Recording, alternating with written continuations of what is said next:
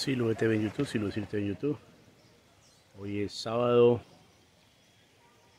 22 de enero de 2022. Estamos en el pulmón ecológico del río Cañablejo con este entrenamiento de los jóvenes acá en esta parte de la Comuna 20, acá en Gol.